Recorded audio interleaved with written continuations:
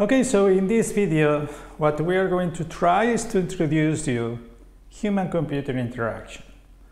This set of technologies that somehow, as you're going to see, are essential in the way we work, in our daily activities, and even for communicating between us.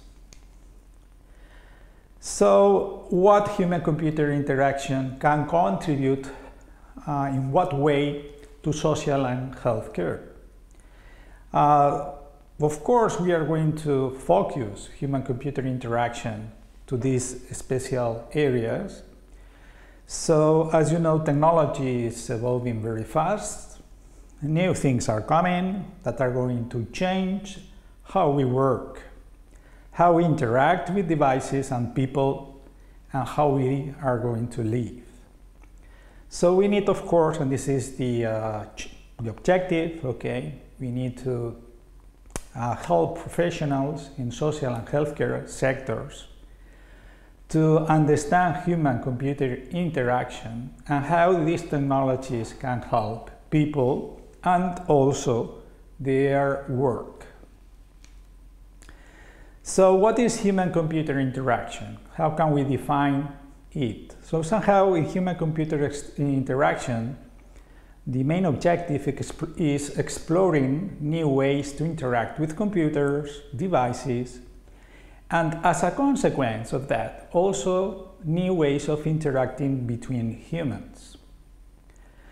So in human-computer interaction, there are people involved from many different areas, such as software, hardware, new devices and technologies, people uh, familiar with new communication channels, new media, of course, art, design, psychology, of course, education, special education, healthcare, welfare, social assistance.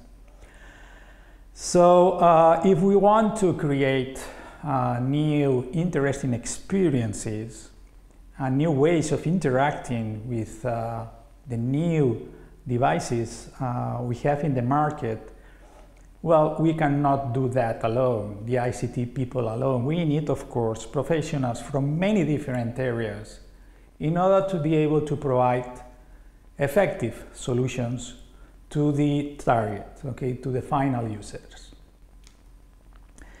So we try to achieve something we know as universal usability. So we uh, try in human-computer interaction to improve how we interact with devices, how, as a consequence of that, we can improve how we work, how we do our daily activities, how we, of course, we enjoy, enjoy our spare time, and how we interact with each other. So human-computer interaction is also really important to avoid people exclusion, something very interesting. By facilitating impaired and people with special needs or some kind of dependency to do things not possible before. So, of course, human-computer interaction, as we are going to see in the next video, can also make our life easier to, of course, to professionals, uh, mainly professionals in the health and social sector. Evolution, okay, uh, maybe you're not familiar with that, but at the very beginning of the last century, the first computers, of course, the way we had in order to interact with, with them was really hard, okay, so only uh, highly skilled professionals were able to really work with the first computers we had. Of course, with the technology evolution, more and more people have been able to work and interact with any kind of devices. Well, a special interesting moment was the uh, creation or the first microprocessors. Uh, I'm talking about the 70s of last century. So with that, the era of personal computing started and it was clear that it was necessary to open computers to a more general population. So starting from terminal and text interaction, we, are, we have been moving towards graphical interfaces with elements you know very well, folders, the use of the mouse, pointers, menus, and so on. So this is the classic, the classic interaction paradigms, okay? Where you have on the top left, as you can see in the top left, we have uh, how we work normally with a traditional desktop computer. So we interact with the computer. We are also able to interact with our environment, with the real world, but the computer and the real world, they are not really interacting each other. So on the left bottom, okay, you have what we are living right now. We call it uh, the concept of mm, transparent computer, okay, also known as pervasive or ubiquitous computing. So this means that we have devices everywhere. So our information is in the cloud. Uh, we have internet connection from any of these devices so we can get access to our information, our data, our uh, agenda, whatever we have to do from any device, anywhere, okay? On the right column, you have on the top what we call virtual reality. So the idea is let's immerse the user in a new digital environment interactive environment, environment and connect it with uh, maybe avatars and of course other humans. And finally, okay, we have augmented reality. As you can see, uh, in virtual reality, we don't have communication. You can see it in the uh, right up diagram. We, we don't have interaction with the real world. However, in augmented reality, we do have uh, direct interaction with the real world, but somehow we are going to have an extra layer, an extra information, synthetic information that is going to augment, to complement the real world. So the idea is what you have there. Let's offer the user direct access and vision of the reality. And let's add new synthetic elements onto it cheating, this is objective, your brain that eventually won't be able to differentiate virtual or real elements. So uh, here you have a couple of uh, very well-known devices. The Microsoft HoloLens, which is an augmented reality device, and you have an HTC uh, virtual uh, head-mounted display. So the idea is that uh, virtual reality, somehow we can summarize the idea as an attempt to replace our experience totally. But uh, the objective of augmented uh, reality is to amplify, okay, the experience we have of the real world. So two quite different objectives with potential different applications that, in both cases, are going to be a before and after on how we will learn, interact with the world and with others. So uh, virtual and augmented reality, without any doubt, are the uh, maybe the most important uh, disruptive technologies we have right now in human-computer interaction. So in virtual reality, the ideas I'm telling you, is uh, this uh, immersive experience, okay? And of course to be able to interact with these virtual elements, okay? Everything generated by a computer, by a device. So uh, in a new world, uh, this is the objective, synthetic, interactive, that in a very near future is going to be called, it seems, uh, metaverse experiences. In the other side, we have augmented reality. Uh, augmented reality, uh, the objective, as you can read here, is a kind of uh, real-time, direct or indirect view of a physical real world that is enhanced or augmented or complemented by adding virtual computer generated information to it. So a true, I repeat, a true AR solution, okay, has to follow these properties. Uh, it has to combine real and virtual objects, and it has, this is also very important, to be able to align real and virtual objects with each other so that as the view of the real object changes, the augmented object connected to it changes accordingly. So this is the final objective, to cheat our brain, to think that the virtual object is really there, okay? And it has to run, of course, interactively in three dimensions and in real time. Currently, what kind of solutions we have right now about augmented reality, a common one is what we call optical AR or vision-based. In this case, using marks of specific images and traditionally using what we call video see-through. In the picture, uh, you have an example of ours. We're using a tablet. We can uh, see, uh, in this case, uh, a book, and immediately when the application detects this book, a virtual element appears. So now if I move the book or if I move the tablet, the virtual object is going to be anchored, connected, okay, to the real image, okay?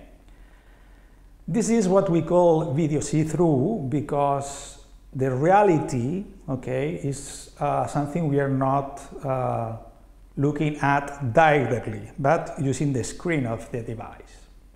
So this is done by using the camera of the device. The device identifies a picture and the vision of the reality from the camera is complemented with virtual elements, okay? But the alignment is perfect, okay? So you have the feeling that the virtual element is already there. So the combination of the real world plus synthetic elements is seen in the screen of the device. This is why we call it video see-through.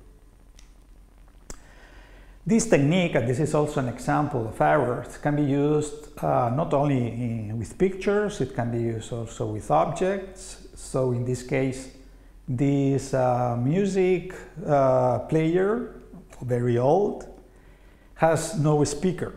But uh, using the application, you can see the speaker. Okay, so you can move around the object and you can see the speaker that it is missing in the real world. Okay. So another possibility uh, is instead of using what we have described as optical solution or computer vision based solution is to use something we have in every mobile device we can use, of course, the GPS and the orientation sensors of the device. This is very interesting outdoors, okay? And uh, as you know, it was a really famous uh, game called Pokemon Go using this technology. However, there are still some challenges and also the uh, error we have with the GPS is quite important. If we want to enjoy, okay, a full augmented uh, reality experience, okay, uh, we have also this possibility and we have some, as we call them, optical see-through devices.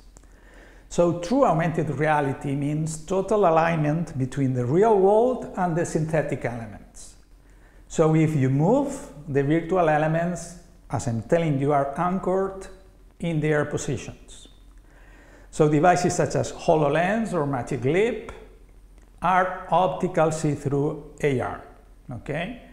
So the vision of the reality is a direct vision, not using the screen of the device. So we are, the, the, the, the lenses here are transparent, so we can see directly the real world. And of course, this vision, by projecting in these glasses the synthetic information, is complemented, of course, with the synthetic elements. The problem is that this technology is still in the early stages, it's expensive, and it has some very important limitations.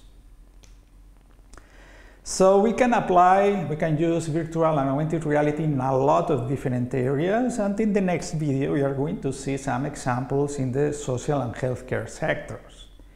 But of course in education, in all levels, okay, and training professionals, the use of virtual and, uh, and augmented reality is very interesting.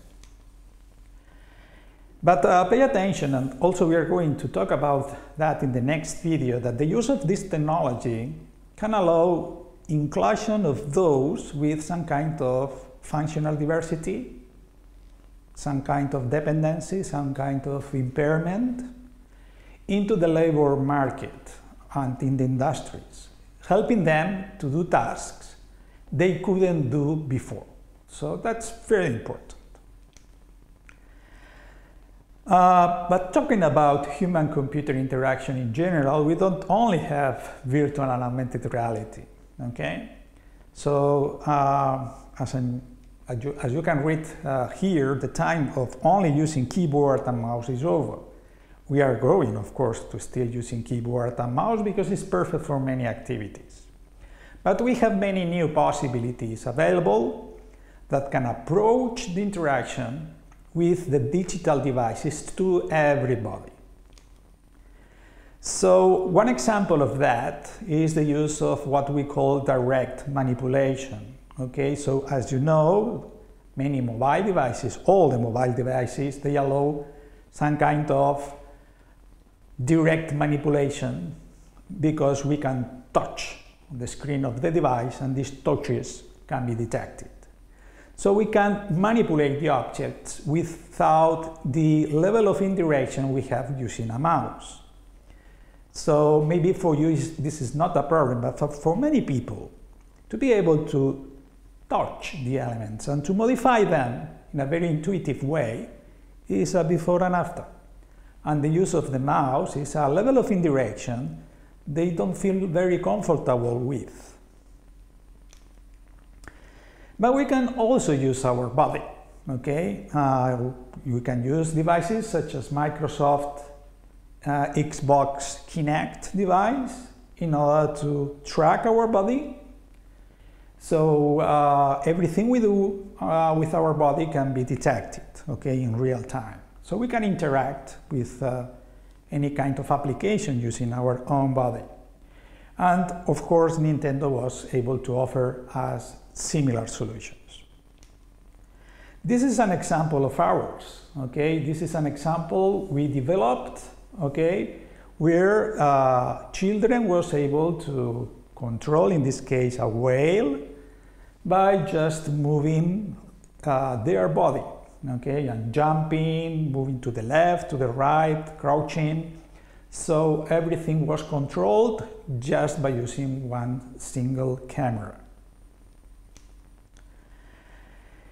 Of course, mobile devices are now just not only able to improve interaction and connection to, to, the internet, but they can also, as you know, track our, and this is very important, activity and health. Tracking activity is very interesting for many, for example, social applications and uh, health, of course, in order to improve, of course, our health. So we are living an awesome moment where mobile devices offer new possibilities. So they offer multi-touch, direct manipulation, so it's very easy to work with them.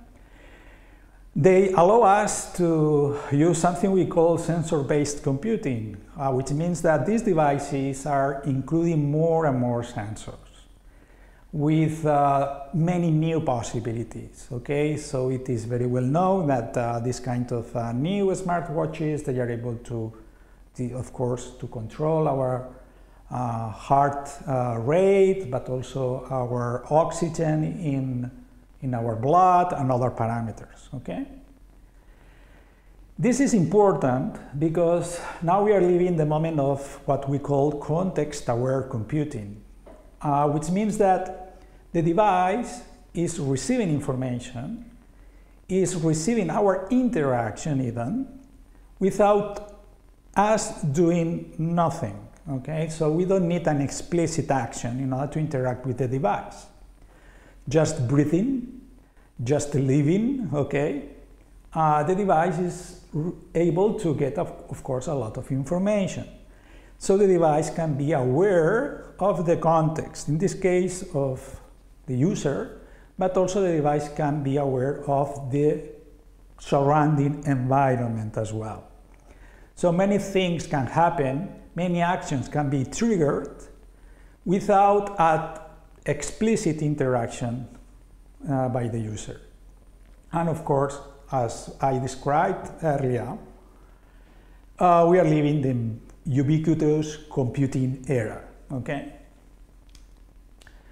So, although we have a specific series of videos talking about artificial intelligence, it's interesting to see here that artificial intelligence is really boosting human-computer interaction to new incredible achievements. So artificial intelligence when applied to human-computer interaction is achieving to go far beyond when offering new interaction possibilities to users. So AI can provide meaning to our environment, semantics to our environment, can validate, for example, the user's actions, can get information from the context and the environment and understand this information and to help us to get uh, extra information about our environment we are not able to perceive. We can, of course, interact using our own voices and natural language. We can have, of course, human-like virtual avatars, etc. Okay, so AI is uh, somehow making human-computer interaction even much more effective. So here you have, for example, uh, natural language interaction, chatbots, voice assistants, automatic translation. Uh, we are not far from uh, being able to uh, communicate with anyone in the world without knowing the language of the country we are visiting. Image recognition, artificial vision, etc all this uh, technology related with artificial intelligence, when we integrate them into human-computer interaction, we have a new uh, set of uh, possible applications. And in the field of uh, social and healthcare, we will see some examples in the next video. So this is all for now. This is uh, a kind of introduction to human-computer interaction in order to show you that this is a very, very broad area with many technologies, many possibilities where it is going to be necessary to interact uh, with very different people with very different profiles. Because in order to find a solution able to uh, be interesting for someone, we need, of course, to know the kind of necessities of the target population. So in the next video, what we are going to do is to see some specific examples in the social and healthcare sectors.